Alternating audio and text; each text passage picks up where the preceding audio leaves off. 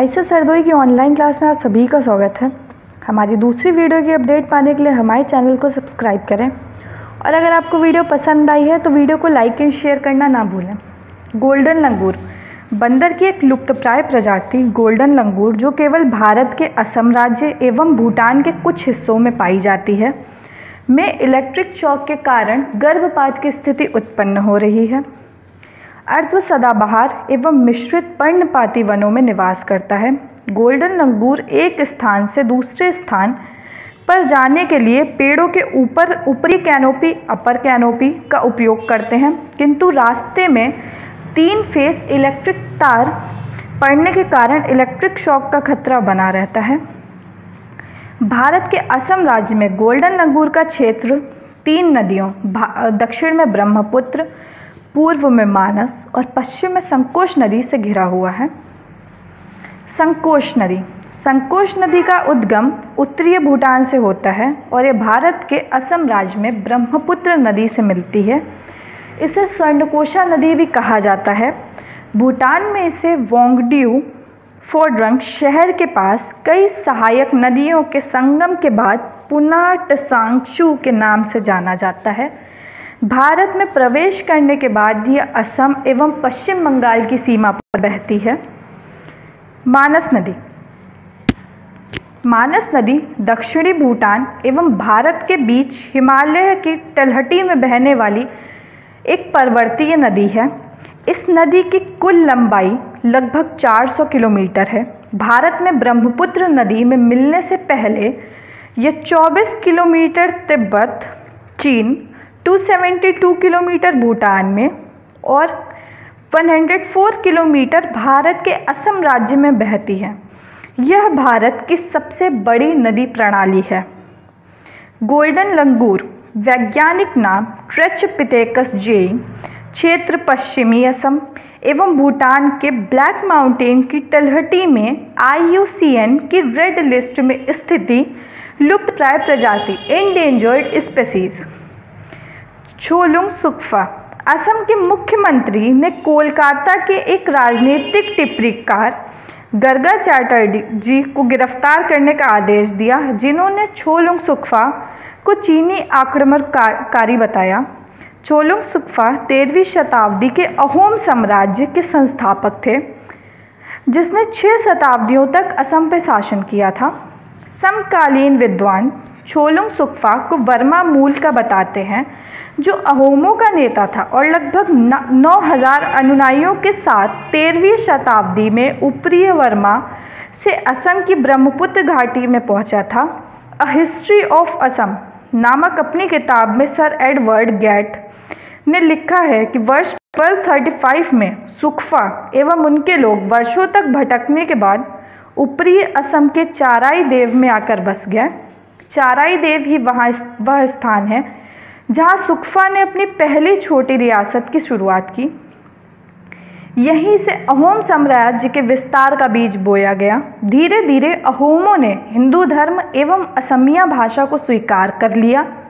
उन्हें बोर असोम या ग्रेटर असम के वास्तुकार के रूप में जाना जाता है। सुकफा एवं उनके शासन की याद में असम में प्रत्येक वर्ष 2 दिसंबर को असोम दिवस मनाया जाता है। नेशनल टेस्ट अभ्यास मोबाइल ऐप। केंद्रीय मानव संसाधन एवं विकास मंत्री ने घोषणा की है कि राष्ट्रीय परीक्षण agency, national testing agency, NTA, ने नेशनल टेस्ट अभ्यास मोबाइल ऐप पर हिंदी भाषा में भी मॉक टेस्ट देने की सुविधा शुरू कर दी। इस ऐप को राष्ट्रीय परीक्षण एजेंसी द्वारा विकसित किया गया, जो उम्मीदवारों को एनटीए के दायरे में जेई मेन और नीट जैसी आगामी परीक्षाओं के लिए मॉक टेस्ट देने में सक्षम बनाता है। नेशनल पीपल्स पार्टी मणिपुर में भारतीय जनता पार्टी के नेतृत्व वाली सरकार ने national people's party national people's party NPP के उप उप मुख्यमंत्री वाई जॉय कुमार समेत नेशनल पीपल्स पार्टी के चार मंत्री इस्तीफा देकर कांग्रेस में शामिल हो गया नेशनल पीपल्स पार्टी भारत में एक राष्ट्रीय स्तर की राजनीतिक पार्टी है। हालाँकि इसका ज़्यादातर प्रभाव मेघालय राज्य में केंद्रित है। जुलाई 2012 में राष्ट्रवादी Congress party, nationalist Congress party, NCP से निष्कासन के बाद नेशनल पीपल्स पार्टी की स्थापना पी ए संगमा ने की थी। इसे 7 जून 2019 को राष्ट्रीय पार्टी का दर्जा दिया गया था। यह पूर्वोत्तर भारत का पहला राजनीतिक दल है, जिसने यह दर्जा हासिल किया है। नेशनल पीपल्स पार्टी का चुनाव चिन्ह किताब है, उल्लेखनीय है कि राष्ट्रीय पार्टी का दर्जा मिल जाने के बाद देश में किसी भी अन्य राजनीतिक दल या प्रत्याशी को उस राष्ट्रीय पार्टी का चुनाव चिन्ह आवंटित नहीं किया जाता है। राष्ट्रीय राजनीतिक दल को दिल्ली में पार्टी कार्यालय और राजनीतिक गतिविधियों के लिए ज़मीन आवंटन केंद्र सरकार की तरफ़ से किया जाता है।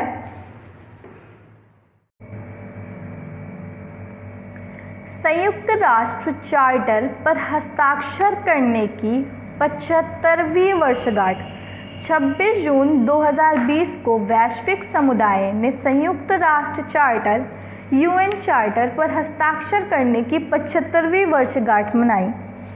संयुक्त राष्ट्र संघ की स्थापना 24 अक्टूबर 1945 को संयुक्त राष्ट्र अधिकार पत्र के माध्यम से की गई थी, किंतु इसे 26 जून 1945 में एक घोषणा पत्र पर सदस्य देशों के हस्ताक्षर के बाद संयुक्त राष्ट्र चार्टर, यूएन चार्टर के रूप में स्वीकार किया गया था।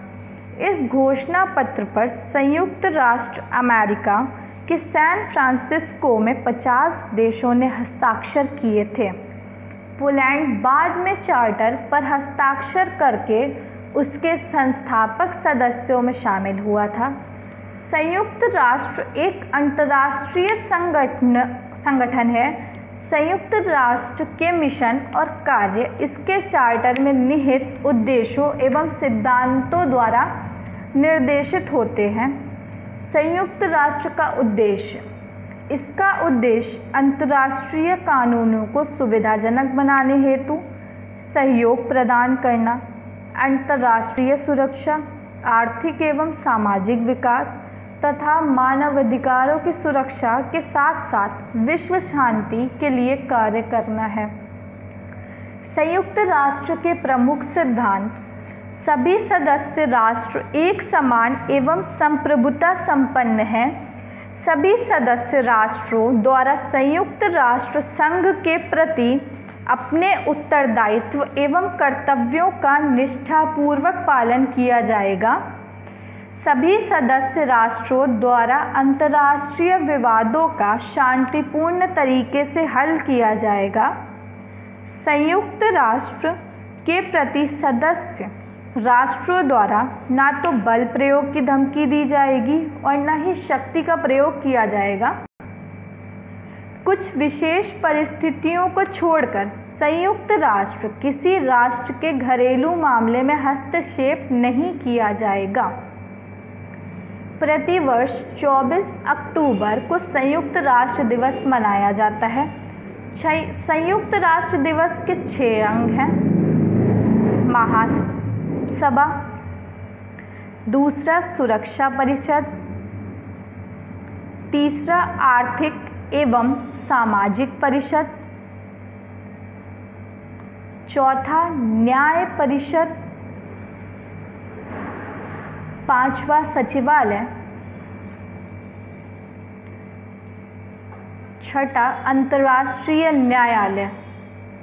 Order of the nine angles अमेरिकी सेना के एक सैनिक इथेन मेल्जर ने अपनी ही यूनिट पर हमला करने के लिए एक नव नाजी समूह के साथ गुप्त जानकारी साझा की, जिसे order of the knight angles O nine A कहा जाता है।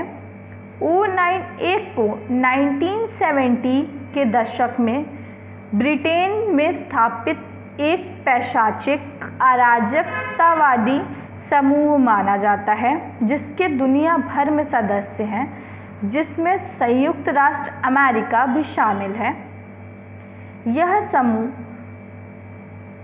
स्वयं को विश्वव्यापी जनजातियों एवं व्यक्तियों के समूह के रूप में वर्णित करता है, जो समान रुचियों, उद्देश्यों एवं जीवन शैलियों को साझा करते हैं और परस्पर लाभ हेतु साझा उद्देश्यों की पूर्ति के लिए सहयोग करते हैं। The devil's party satanism in modernity पुस्तक के अनुसार डेविड माइट को इस समूह का मुख्य सृजनकर्ता माना जाता है। डेविड माइट ने हिंसक, नवनाजी एवं इस्लामिक आतंकवादी समूहों में सक्रिय रूप से भाग लिया है। जो रूढ़िवादी नियमों को पुनः लागू करने का प्रयास कर रहे हैं। ड्रग्स के दुरुपयोग एवं अवैध तस्करी के खिलाफ अंतर्राष्ट्रीय दिवस 2020 विश्व भर में 26 जून को ड्रग्स के दुरुपयोग एवं अवैध तस्करी के खिलाफ अंतर्राष्ट्रीय दिवस 2020 मनाया गया। थीम वर्ष 2020 के लिए इस दिवस की थीम, बेहतर देखभाल के लिए बेहतर ज्ञान better knowledge for better care है। इसका उद्देश्य अंतर्राष्ट्रीय स्तर पर नशीली दवाओं से छुटकारा पाना तथा सामाजिक सशक्तिकरण पर ज़ोर देना है। 7 दिसंबर 1987 को संयुक्त राष्ट्र महासभा ने नशीली दवाओं के दुरुपयोग से मुक्त एक अंतर्राष्ट्रीय समाज के लक्ष्य को प्राप्त करने के उद्देश्य से संकल्प 42 बटा 112 के तहत प्रतिवर्ष 26 जून को नशीली दवाओं के दुरुपयोग एवं अवैध तस्करी के खिलाफ अंतर्राष्ट्रीय दिवस के रूप में मनाने का फैसला किया था। इसे विश्व ड्रग दिवस, वर्ल्ड ड्रग डे के रूप में जाना जाता है, मारिश। भारतीय नौसेना ने एंटी सबमरीन युद्ध क्षमता को बढ़ाने के लिए स्वदेश निर्मित टॉर्पीडो डेकाय प्रणाली मॉरिच को अपने बेड़े में शामिल किया है। इस एंटी टॉर्पीडो डेकाय प्रणाली का डिज़ाइन एवं विकास रक्षा अनुसंधान एवं विकास संगठन, डीआरडीओ, की प्रयोगशालाओं एन एस टी एल व एन पी ओ एल में किया गया है। नौसेना की विज्ञान एवं तकनीकी प्रयोगशालाएँ N S T L N S T L रक्षा अनुसंधान एवं विकास संगठन डी आई डी ओ की एक भारतीय रक्षा प्रयोगशाला है। विशाखापट्टनम में स्थित इस प्रयोगशाला का मुख्य कार्य अंडर वाटर हथियारों एवं संबंधित प्रणालियों के लिए अनुसंधान एवं विकास करना है। नौसेना की भौतिकी एवं महासागरीय प्रयोगशालाएँ एन यह केरल के कोचिक में स्थित है। एनपीओएल सोनार प्रणाली, जल के नीचे निगरानी के लिए प्रौद्योगिकी, समुद्री वातावरण एवं महासागरीय जल के अंदर अध्ययन से संबंधित अनुसंधान एवं विकास के लिए जिम्मेदार है। सार्वजनिक क्षेत्र का रक्षा उपक्रम, भारत इलेक्ट्रॉनिक्स लिमिटेड। इस दिकाय प्रणाली के उत्पादन का कार्य करेगा। मॉरिच को अग्रिम मोर्चे के सभी युद्धपोतों से ताक कर लक्ष्य पर निशाना लगाया जा सकता है। आयुध निर्माणी बोर्ड का निगमीकरण रक्षा मंत्रालय के रक्षा उत्पादन विभाग की एक उच्च स्तरीय आधिकारिक समिति ने आयुध निर्माणी board, ordnance factory board OFB का निगमीकरण करने से संबंधित चिंताओं को दूर करने के लिए कर्मचारी संघों, संगठनों से बातचीत की। आयुध निर्माणी बोर्ड का निगमीकरण करना आत्मनिर्भर भारत अभियान का एक भाग है, जिसकी घोषणा भारत सरकार ने 16 मई 2020 को की थी। रक्षा उत्पादन विभाग के तहत आयुध निर्माणी बोर्ड इकतालीस आयुध कारखानों के साथ देश भर में फैला हुआ है। सामूहिक रूप से 41 आयुध कारखानाओं का कॉरपोरेटर मुख्यालय कोलकाता स्थित आयुध निर्माणी बोर्ड ओएफबी है। ओएफबी सशस्त्र बलों को हथियार एवं गोला बारूद तथा अन्य उपकरणों की आपूर्ति करता है। उल्लेखनीय है कि पहला आयुध कारखाना वर्ष 1801 में कोलकाता के कोसीपोर में स्थापित किया गया था, जिसे अब गन एंड शेल फैक्ट्री के रूप में जाना जाता है। विज्ञान एवं प्रौद्योगिकी विभाग। विज्ञान एवं प्रौद्योगिकी विभाग, डीएसटी, के सचिव ने विज्ञान एवं प्रौद्योगिकी विभाग के 50 वर्ष पूरे होने पर स्वर्ण जयंती स्मरणोत्सव वर्ष मनाने के लिए आधिकारिक लोगो लॉन्च किया। विज्ञान एवं प्रौद्योगिकी विभाग डीएसटी की स्थापना 3 मई 1971 को हुई थी। डीएसटी विभिन्न गतिविधियों जैसे व्याख्यान श्रृंखला, प्रकाशनों वृत्त चित्रों को जारी करना डीएसटी के तहत भारतीय सर्वेक्षण के विकिपीडिया पृष्ठ को अपडेट करना आदि के साथ 3 मई 2020 से 2 मई 2021 की अवधि के दौरान स्वर्ण जयंती स्मरणोत्सव वर्ष की समीक्षा कर रहा है। डीएसटी भारत सरकार के विज्ञान एवं प्रौद्योगिकी मंत्रालय के तहत कार्य करता है। संकल्प पर्व। प्रधानमंत्री के आह्वान पर संस्कृति मंत्रालय पेड़ लगाने के लिए 28 जून से 20 जुलाई 2020 तक संकल्प पर्व मनाएगा। संस्कृति मंत्रालय यह अपेक्षा रखता है कि इस दौरान उसके सभी अधीनस्थ कार्यालय, अकादमी, संलग्न संस्थान, समृद्ध संस्थान अपने अपने परिसरों में या उसके आसपास भी, जहाँ भी संभव हो, वहाँ अवश्य ही पेड़ लगाएँगे। पाँच पेड़ों को प्राथमिकता दी है। जो देश के जड़ी बूटी संबंधी विरासत का सटीक प्रतिनिधित्व करते हैं। ये पेड़ हैं पीपल, पहला बरगद, दूसरा आंवला, तीसरा पीपल, चौथा अशोक, पांचवा बेल। संस्कृति मंत्रालय से संबंधित संगठनों को यह सुनिश्चित करने को कहा गया कि इन पाँच पेड़ों को लगाने के अलावा प्रत्येक कर्मचारी अपनी पसंद के भी कम से कम एक पेड़ अवश्य लगाएँ। डॉक्टर जोसेफ मॉर्थोमा, मेट्रोपॉलिटन प्रधानमंत्री निश्रद्धेय डॉक्टर जोसेफ मार्थोमा, मेट्रोपॉलिटन के नब्बे जन्मदिन समारोह को संबोधित संबोधित किया। मलंकरा मारथोमा सीरियन चर्च, जिसे मारथोमा चर्च के रूप में जाना जाता है, केरल के प्राचीन एवं स्वदेशी चर्चों में से एक है। परंपरागत रूप से यह माना जाता है कि ईसा मसीह के एक शिष्य, सेंट थॉमस ने बावनवीं ईस्वी में भारत आकर इस चर्च की स्थापना की थी। वर्तमान में इस चर्च के प्रमुख 21वें मलंकारा मेट्रोपॉलिटन परम श्रद्धेय डॉक्टर जोसेफ मॉर्थोमा हैं, जिन्होंने पिछले तेरह वर्षों से चर्च का नेतृत्व किया है।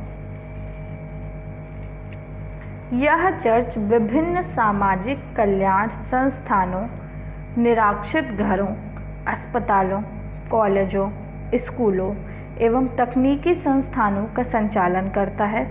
उल्लेखनीय है कि भूकंप, बाढ़, सुनामी जैसे संकटों के दौरान चर्च ने विभिन्न राज्यों में राहत एवं पुनर्वास कार्यों में भाग लिया है। राष्ट्रीय सांख्यिकी दिवस। रोज़मर्रा के जीवन में सांख्यिकी के उपयोग को लोकप्रिय बनाने के लिए भारत सरकार प्रत्येक वर्ष 29 जून को राष्ट्रीय सांख्यिकी दिवस, नेशनल स्टैटिस्टिक्स डे, मनाती है और लोगों को इस बात के लिए जागरूक करती है कि सांख्यिकी नीतियों को आकार देने में किस तरह मदद करती है। थीम इस दिन दिवस की theme S D G three स्वस्थ जीवन सुनिश्चित करना एवं सभी उम्र के लोगों के कल्याण को बढ़ावा देना। एवं एस डी जी फाइव लैंगिक समानता प्राप्त करना तथा सभी महिलाओं एवं लड़कियों को सशक्त बनाना है। यह दिवस 29 जून को प्रोफेसर पी सी महालनोबिस की जयंती पर राष्ट्रीय सांख्यिकी प्रणाली, नेशनल स्टैटिस्टिकल सिस्टम की स्थापना में उनके अमूल्य योगदान को मान्यता देते हुए मनाया जाता है। वर्ष 2019 में सांख्यिकी एवं कार्यक्रम कार्यान्वयन मंत्रालय ने आधिकारिक सांख्यिकी वादियों के असाधारण योगदान के सम्मान में प्रोफेसर पी सी महालनोबिस राष्ट्रीय आधिकारिक सांख्यिकी पुरस्कार नामक एक नए पुरस्कार की घोषणा की। H A M radio H A M radio जिसे एमिट्योर रेडियो भी कहा जाता है, एक लोकप्रिय शौक एवं सेवा है, जो लोगों तथा इलेक्ट्रॉनिक्स एवं संचार को एक मंच पर साथ लाता है। प्रमुख बिंदु। H A M radio real time संचार network real time communication network है। यह पुलिस एवं नागरिक अधिकारियों द्वारा उपयोग किए जाने वाला वायरलेस संचार की तरह है। यह त्वरित रूप से कार्य करने वाली पारदर्शी प्रणाली है। इंटरनेट या सेल फ़ोन के बिना इससे संबंधित लोग पूरे देश में या यहाँ तक कि अंतरिक्ष में भी बात करने के लिए एच ए एम रेडियो का उपयोग करते हैं। यह सामाजिक, शैक्षणिक तथा लोगों के मनोरंजन से संबंधित है और ज़रूरत के समय यह लोगों के जीवन के लिए उपयोगी भी हो सकता है। एच ए एम रेडियो संयुक्त राज्य अमेरिका की ए बी सी टेलीविज़न श्रृंखला लास्ट मैन स्टैंडिंग में टिम एलन द्वारा अभिनीत कहानी का हिस्सा है।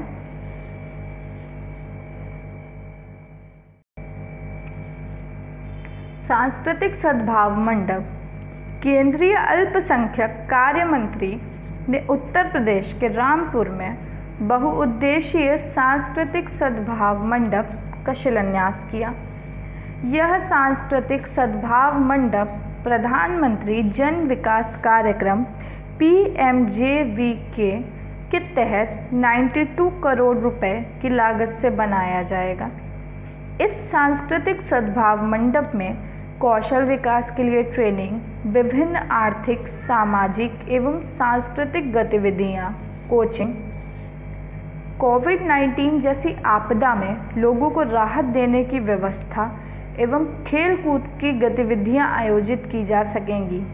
प्रधानमंत्री जन विकास कार्यक्रम पी एम जे वी के अल्पसंख्यक समुदायों के शैक्षणिक सशक्तिकरण एवं रोज़गार उन्मुख कौशल विकास को ध्यान में रखते हुए केंद्र सरकार ने बहुक्षेत्रीय विकास कार्यक्रम multi sectoral development programme MSDP का नाम बदलकर प्रधानमंत्री जन विकास कार्यक्रम पी एम जे वी के के रूप में इसका पुनर्गठन किया है। पी एम जे वी के के तहत 80 प्रतिशत संसाधनों को शिक्षा, स्वास्थ्य एवं कौशल विकास से संबंधित परियोजनाओं के लिए रखा गया है। इसके तहत करीब 33 से 40 परसेंट संसाधन विशेष तौर पर महिला केंद्रित परियोजनाओं को आवंटित किए गए हैं। उल्लेखनीय है कि बहुक्षेत्रीय विकास कार्यक्रम एमएसडीपी को भारत सरकार के अल्पसंख्यक मामलों के मंत्रालय द्वारा वर्ष 2008-9 में लॉन्च किया गया था।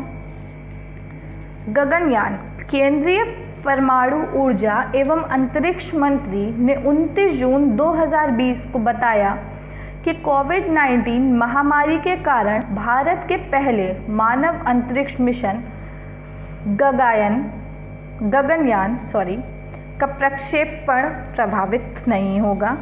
प्रमुख बिंदु, गगनयान की घोषणा भारत के प्रधानमंत्री द्वारा अगस्त 2018 में की गई थी। इस मिशन को वर्ष 2022 तक पूरा करने का लक्ष्य रखा गया तथा इस मिशन की लागत लगभग एक हज़ार करोड़ रुपए है। इस मिशन के तहत थ्री सेवन क्रू के सदस्य अंतरिक्ष में तीन से सात दिन बिताएँगे।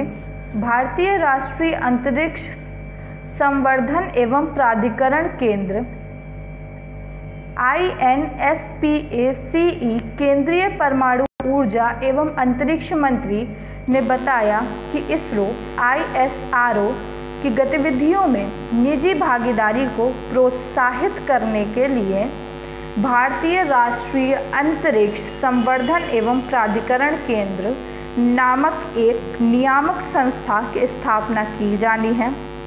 यह नियामक संस्था निजी कंपनियों को एक समान अवसर प्रदान करने एवं उनकी भागीदारी को प्रोत्साहित करने में मदद करेगी। प्लेसबो। प्लेसबो एक ऐसा पदार्थ है जो दवाओं से मिलता जुलता किंतु उसमें सक्रिय दवा एक्टिव ड्रग नहीं होती है। एक प्लेसबो वास्तव में एक वास्तविक दवा की तरह दिखता है। किंतु यह एक निष्क्रिय पदार्थ स्टार्च या चीनी से बना होता है। प्लेसबो प्रभाव प्लेसबो इफ़ेक्ट कभी कभी किसी रोगी में प्लेसबो के कारण एक सकारात्मक एवं नकारात्मक प्रतिक्रिया हो सकती है। उदाहरण के लिए रोगी के लक्षणों में सुधार हो सकता है, या रोगी में उपचार से होने वाले दुष्प्रभाव भी दिखाई दे सकते हैं। इन प्रतिक्रियाओं को प्लेसबो प्रभाव के रूप में जाना जाता है। विभिन्न अध्ययनों से पता चला कि प्लेसबो मानव की विभिन्न स्थितियों, जैसे डिप्रेशन, दर्द, नींद संबंधित विकार, आंत की संवेदनशील बीमारी, रजोनिवृत्ति मेनोपॉज आदि पर सकारात्मक प्रभाव डाल सकता है। मिशन सागर। मिशन सागर के अंतर्गत दक्षिणी हिंद महासागर क्षेत्र में तैनात किया गया भारतीय नौसेना का एक जहाज़ आईएनएस केसरी 55 दिनों के बाद कोचिक, केरल पहुँचा। आईएनएस केसरी को एक विशेष कोविड राहत मिशन, कोविड रिलीफ मिशन के लिए तैनात किया गया था और इस मिशन के अंतर्गत Male, Maldives, Port Louis, Mauritius, Antsiranana, Madagascar, Moroni, Comoros island एवं पोर्ट विक्टोरिया, सेशलस में 580 टन खाद्य सहायता एवं आवश्यक मेडिकल वस्तुएँ भेजी गई थी। आईएनएस केसरी आईएनएस केसरी भारतीय नौसेना का एक शार्दुल शेड़ी शार्दुल क्लास का टैंक लैंडिंग जहाज़ है। वर्ष 2009 में आईएनएस केसरी को विशाखापट्टनम के पूर्वी नौसेना कमान से पोर्ट ब्लेयर स्थानांतरित किया गया था।